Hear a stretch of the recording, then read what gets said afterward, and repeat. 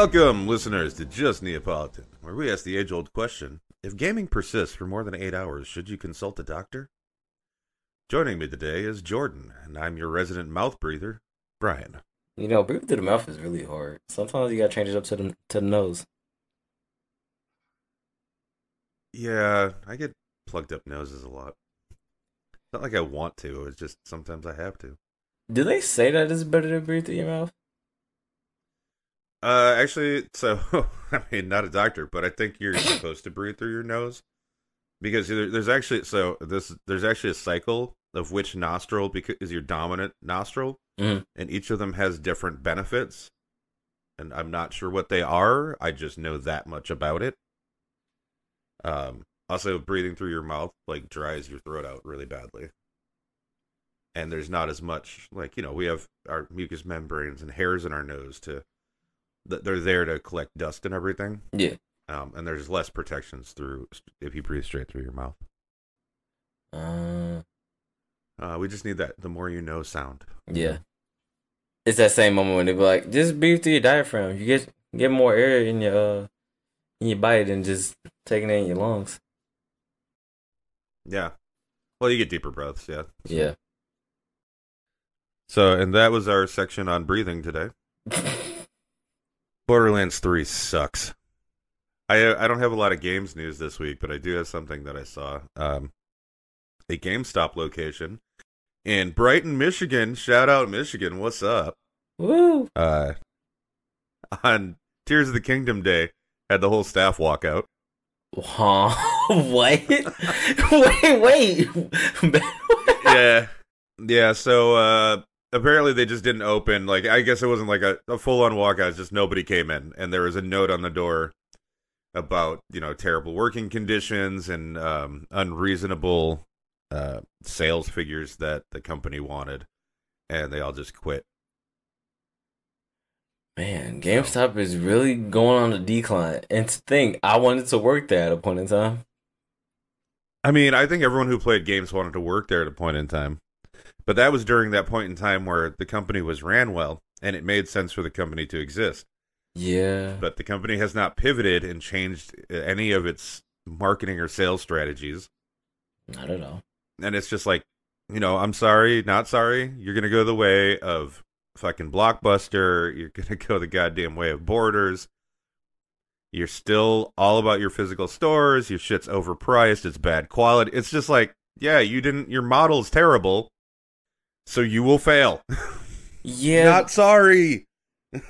so I think that what they started going more towards yeah, they still have physical, but they also have memorabilia. They have more Well- like in store like figurines and trinkets of anime and video game like. Last Yeah. time I was in one. Yeah, and, and well, I'd say like another big problem is they don't have a big enough online presence. True. You know, there's no centralized location, so if you go online, a lot of times it'll be like you go online and it's like, oh, it's at this store in your area, and I'm like, I just want you to ship it to me, and they're like, you can pick it up in this store in your area, and I'm like, it ain't the fucking '90s anymore. Like you're still running running your business like it's the fucking '90s. You haven't pivoted. Like bad businesses fail. Fuck off. And you know, unless you've got a douchebag like Elon Musk willing to pump more and more billions of dollars into a failing, you know, business model. Oh lord. They don't got the That's what GameStop should have done. GameStop should have tried to get a get Elon to spend billions on him for nothing. I bet you he'll do it. Yeah, yeah, for the memes.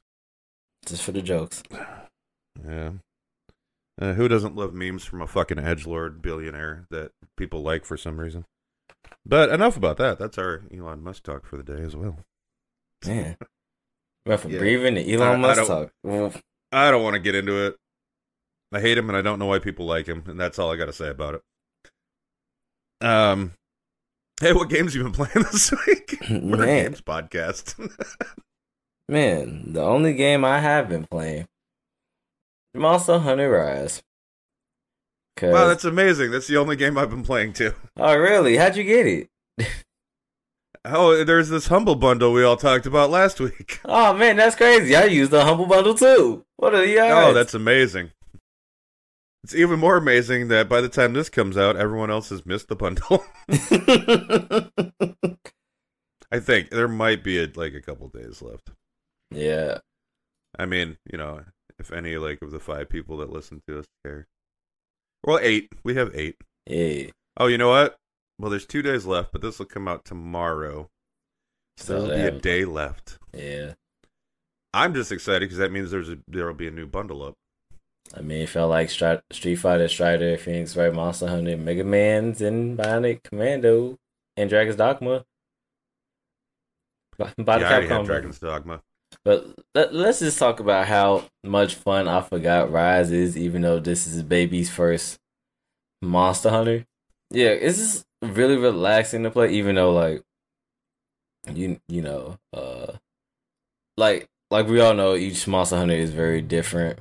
Like the ride Rise is different from World, World is different from all the generation games. But this one just feels more comfortable, more like it's not really hand holding, but you can you can still d- go down and faint. But how we're playing this game right now, because we have experience, we're just gliding through this. Like we're gliding through village quests, gliding through hub quests, with ease. Yeah, I mean the biggest problem with the game is the goddamn rampage quest. Oh yeah, I did not ask for, nor did I want tower defense games in my Monster Hunter. The nice thing is there's only two of them that are required. That being said, there's two required for the village quests mm-hmm. and two required for the hub quests. So if you're like us and you do both, that's four. It's all right. Once we get Floyd in there to play it, he loves those for some reason. so- I I just like them with a passion, only because it's a to me it's a waste of time. No, it is. It's a complete waste of time. Like I want the stuff that drops from them because you can make good weapons, but I don't care. Also, I don't need really good weapons in this game. You know, that's I think that's my my biggest thing, which I guess speeds the game up. But you don't unless you really really want something, you don't go and hunt a monster multiple times. I'm like, cool. Are they dead? All right, on to the next one because I can still use this same gear Honestly, you know, Uh, like I mean, wh- if I can, when I'm wailing on a monster solo and killing it in eight minutes. Now, the bonus there is that means I can get a couple hunts in before work. mhm. With World, I'd have to be all like, ah, yeah, I don't think I really have time for this. So that's a bonus. I love the the wire bug stuff too. oh yeah, Every time I play World now, if I get knocked over, I try and do the wire bug button, and I'm like, I can't do that here. yeah. That's why I haven't went back to World. I kind of got used to wire wire bug free fall. It's like oh oh shit, get hit, hit. Hey, cool. I'm out of here. Yeah, it's uh that was the best feature they added. Well, the wall running is fun too, honestly. Just uh, for traversal. Also, the Like, I do I do like the verticality of the levels now is nice. Mhm. You know. Also, I do find it funny how th- though wire the wirefall is, you know, a easy get me out of there.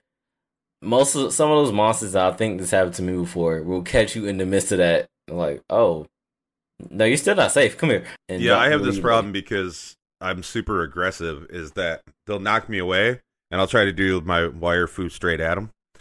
And then they'll smack me out of the air again, and I'll try it again anyway, and they'll smack me out of the air. And now I'm like, cool, I'm like one hit from death. I need to run away and potion up real quick. Then there's me. I don't learn lessons. Then there's me. I'm going right to left in my wire bug. Like, uh, no. Oh, you coming to me? Go to the right. Get you, get you, get you. Go to the left. Get you, get you, get you. And then there's the bear just looks at me like, you know, I'm still running you down, right? I, I I was just gonna talk about was that the Barroth that kept doing that to us? Yep. That last hunt we had of the night where that fucker just kept charging you in your bow gun and running away from me. And so we're both like, you're like, get away from me, and I'm like, come back here. I'm just, I'm just Yeah. trying to give like little damage from the back. Like you, you know, you got someone who's trying to take off your tail. He's very adamant. I'm just back here. Ha, ha, ha, ha. I remember, did we even get that fucker's tail? we did get that fucker's tail. Good. I hate the Barroth's tail always gives me trouble. It just he holds it up so fucking high, which like from a design perspective makes a lot of sense because like with that big crown, like that's how a, a monster would you know, the tail is a, a counterweight. Yeah. So it wouldn't be down low, it'd be up, you know, higher. So like it makes sense in a design thing. trying to cut that fucking thing off. Ugh, pain in my ass. But it, I mean, since apparently we're gonna just talk about Rise, because what other games we got to talk about? Um, I got my Nargacuga blade finally. Ooh. Yeah, that one I wanted, so I did fight that three times to get the stuff I needed. And now I happy boy, and now I went and now I'm killing stuff in like seven minutes. I I can't wait so I can get my uh Donkey Cougar uh bow bow gun because that's the one I like using the most for uh post post game anyway because it has good on slicing and good on pierce and if any if those who don't know slicing and piercing is like a big thing is almost one of the biggest things if you're trying to really knock down a monster real quick with a light light BG or light bow gun but when I get once we get like farther in HR, I'm probably gonna swap back over to heavy bowgun and strictly have like a sticky ammo set, cause I'm dropping, I'm dropping those monsters. Yeah, and I eventually finally had to give up my switch axe. Mm. Because holy fuck, did they nerf the fuck out of my switch axe in Rise? That pisses me off. That being said, I like the longsword, and so I'm perfectly happy using that. But I do miss my switch axe. Sound like everyone. But I still have on the Switch. I have my Switch axe user, so I still play Switch on the Switch. play Switch on Switch. You sound like everyone that's Switch, Switch on Switch. You sound like everyone that started Monster Hunter Rise in the beginning, cause all they picked was long swords. There was so many long swords online. I'm like, did y'all not decide to pick anything else? Well, I think for a lot of people, especially if there's first time playing, that's what they start you with. They do. You're you're originally equipped. I mean, you have all the weapons in your little thing, your chest, but they start you with the longsword. The longsword's always been fairly popular, and it seems pretty OP. Now, granted, I haven't gone and done it. Although that being said, those demon blades on on Rise seem to be. Ooh, Oh, those are disgusting. yeah, I mean those always kind of have been. Yeah, the I mean, what are the weapons they take care make sure to take care of? Uh the giant sword, Really, that's truly. always a good one if you know how to use it. Demon blades have always, you know, those don't get nerfed. And then bowguns never get nerfed. hammer. Nah, hammers do get nerfed sometimes. Hammer I mean, I didn't like the hammer in Rise. I tried the It's hammer. just uh the hammer in World, man, that would knock fuckers out. Man, catch, catch them when they're not paying attention. Jump from jump from way high. I'm coming. Bonk. Yeah, well, I think too, like because with the the wire bug, um, the monsters are much more mobile Yeah. in Rise. Like fights are a lot more about positioning and moving around. Um, yeah, in World, everything kind of moved a little slower, but seemed to hit harder. Here, they seem to move faster, but not hit quite as hard. So at least they did balance that. Yeah. I think the downfall, like you said, is really the hammer has a lot of I'm in the air moves, especially with the they gave it the command flippy dip dip. I think on its it's L it's Y bug with plus Y on controller. And like you said, the monsters move way too much. So you gonna start going in the air and you think you're about to hit it. It just sidestepped. Yeah. Yeah. Yeah. I mean, even some of the bigger ones move around very quickly. Dude, fucking Mag- Magnum moves way too much for my liking. And when we get to it, Valstrax moves way too much for my liking. Yeah, I don't have. I've never had a problem with Magnamalo. I think I only had problems with with Magnum because of uh what he sends out, and I'm always in that same vicinity of what he's shooting out. Yeah, he's uh he definitely seems like one that's more of a problem for a long range Yeah, because his his a lot of his heaviest moves are long range. Although I will say I hate that he has the uh, the Nergigante shoulder charge. I every time I see him jump in the air to do it, I just get PTSD. I'm Dive like, bomb. uh, I'm like, oh, that's a one hit kill. And then he hits you with it, and I'm like, uh, not as bad. yeah. As long as you don't have the blast blight on you, because that will make all of it explode. Fucking B two bombing everybody. Like, oh shit, it's happening again. No, no, no. The B2 bomber is the Bazelgeuse, uh, juice, and we'll get juice, juice, juice, Ba- ba- juice, ba- whatever. Baby geese, baby goose. The B52. This is why I only call him the B52. Yeah, I mean, one of the event quests right now is to take on two see- seething Bazelgeuses. And Mm, that'll that- be fun when we get there. No. I'd rather face Two Furious Rajangs, and that's me saying some say something Oh I don't God, I don't ever want to say again. Oh no, I'll, I'll take the B52s all day. I'll take the monkeys. I'll, I'll take, take the him to the monkeys. fucking love shack, man. and that and that's saying something. I know how much those monkeys hurt. I I'm just so surprised that the the the Rajangs in this one use basically Donkey Kong's moves from uh, Smash Brothers. Yeah. Like there's so many of those moves that are a straight copy, and I'm like, did they? Did Yeah. they? Do you think they got permission to do that, or they just said you can't copyright a move set? Fuck you. I mean, technically you can't, as long as it's not Donkey Kong doing it. You know, I mean, it's all it's fair. definitely not. It's all fair game. Not with that huge lightning breath shit. Yeah. I've seen so many people die doing that, especially when I, I just join Rajang uh online things just because I wanted to just get the material and go right the fuck back out. I've seen so many low low range or high range players get hit by that and then die because they don't have thunder resistance. So it's like y'all didn't come prepared for this? Yup. Yeah.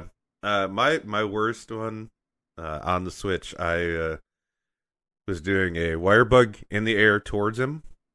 You know, just uh, without my weapon out, and I was going to do a huge, you know, Switch Axe smash down out of it. Mhm. And uh, he did the one where he shoots it in the air, and he caught me while I was in the air.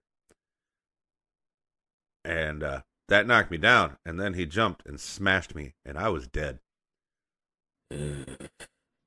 Yeah, I hate him. I definitely hate him. Not as much as Kirin though.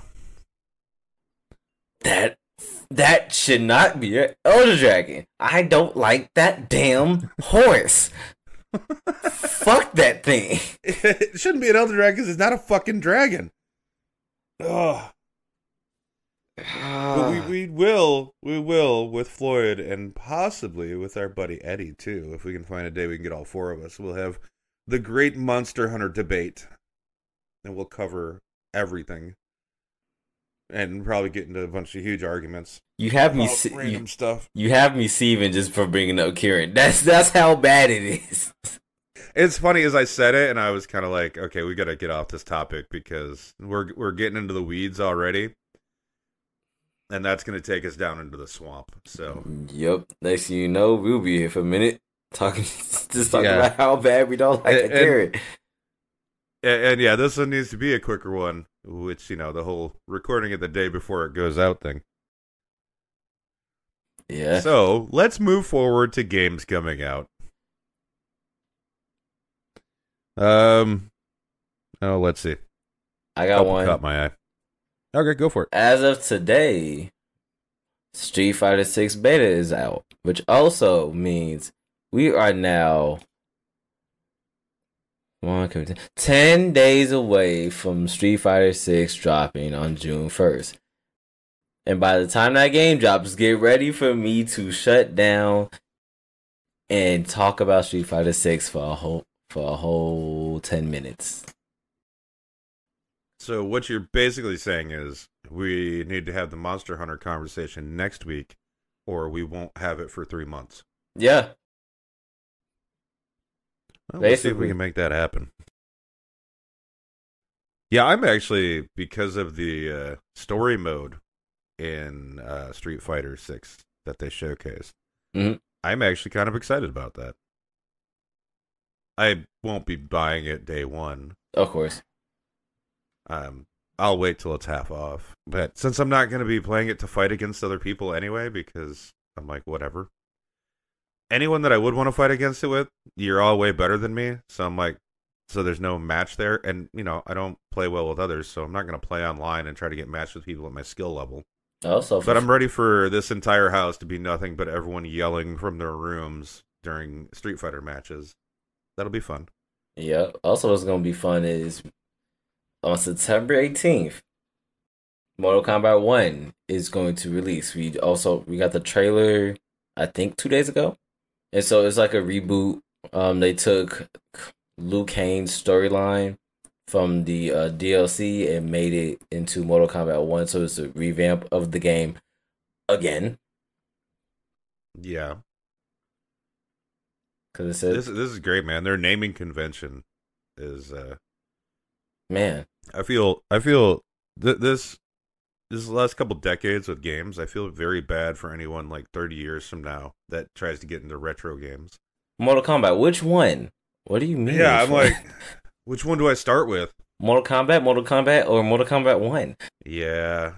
Yeah, fun times. And then with everyone doing like uh you know, the old games now, it's going to be hard to tell what era a game came out in. Ooh, Which can I say I was all for like the pixel graphic games coming back because sprites and all that stuff, those still look good today. Those hold up. Now that there's become this obsession about remaking games and making them look like PS1 games, and all I can think to myself is those games looked like shit when they came out. We knew they did. We were excited because they were 3D models. That's what was cool about it. Since that's gotten better, there no, there is no fucking reason to go back to that dumb shit. It looked bad then. It looks It- worse now. yeah. PS1 games did not age well. I'm looking at God, you, no. Devil May Cry. Ugh. Yep. Uh, How about them uh, 3D Castlevanias, man? Ugh. That's what always comes to mind when I think about it. You also know, those were terrible. also a game that didn't age well is Tomb Raider on a Dreamcast. That whole thing in this Atari did didn't age well. Oh, you mean Lara having conical, uh, pointy boobs didn't age well? Yeah. I mean, Uh, that's that's strange. I mean, Good this- thing we got jiggle physics these days, huh? yeah. Like Joe Live doesn't put it in that game every fucking five seconds. Ay, ay, ay. So, uh, all right, one I was looking at, uh, Warhammer 40k Boltgun, uh, which is a FPS, and uh, definitely like boomer shooter vibes. So, like, I might, we'll see. How many Warhammer games prob- are there? Once again, I'm, uh, did we, if I wanted to list every Warhammer game ever, and not the ones like that are even listed to be coming out, because there's like ten or twelve that are supposed to be coming out this year. Mhm. Um, I could probably do an entire podcast just listing the names and then explaining a slight blurb about what they're about. Please do. Like. I'm talking like not even a paragraph each, and that'd probably be an hour long episode just going through them. Please do an April Fool April Fool's episode like that. Where the whole thing is just me listing the games off. yep. I'll, you know what? I'll think about it. That doesn't even sound fun for me though. like, also, you know how much work I'd I'd have to go. I would have to do so much research just to find them all and then look at them. And I would not play them because then that's like a oh yeah, two years later. Here you go. Um, Lord of the Rings Gollum, it's coming out on the twenty fifth. hmm that's one that I don't know, man. That's like Floyd and I talked about it, and that's either going to be really fucking good or it's going to be a complete piece of shit. I don't think there's any middle ground on that game. I don't think it will be a middle ground. Yeah, I don't, I don't, I don't think it's possible to. But I, I do want to try that one. That is one that I, I've been keeping my eye on. I do want to give that a shot. Does it give the same vibes as the the D and D game? No, no, no. It's uh, it's it's so you play Gollum, and it's going to be extremely stealth based, um, and it's going to be like your story, like in between, and you having to survive. You know, there's going to be orcs that you gotta evade and everything, and obviously you have the ring, and you can't let Sauron find it, and all that good stuff. So, as I said, because of the the whole stealth thing and how everything works out, and then also how the game's going to act once you're located, because we all know if you're stealthing, you're going to get found at some point. Seeing how the game reacts to that, you know, and how well they do it, and then the story I think is going to be a really big thing too. I don't I don't think the game's going to stand much if the story's not there for it. hmm Um, and then here's what I noticed, and it, so I noticed this DLC coming out, and I literally had to go look to find out when the game first came out because I was like, well, "This is too early for DLC." So you remember the game Forspoken? Yeah. Yeah. So that's got an expansion coming out already. Didn't that game just drop? It dropped literally five months ago. So on on January twenty fourth of this year, it dropped. It's already got an expansion coming out the twenty sixth of this month. Damn. In other words, part of the game that it didn't launch with, you don't. There's no no. You don't have expansions five months later on, a, especially not on a game that size, a AAA game. What you have is part of the game you didn't launch with the game, so you could sell it to people for more later.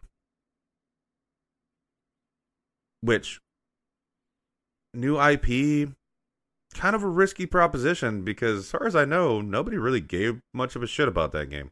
That is true. I haven't heard no commotion about the game. I don't even remember. I remember maybe seeing a review when it came out that I didn't care enough. I was like, I don't care.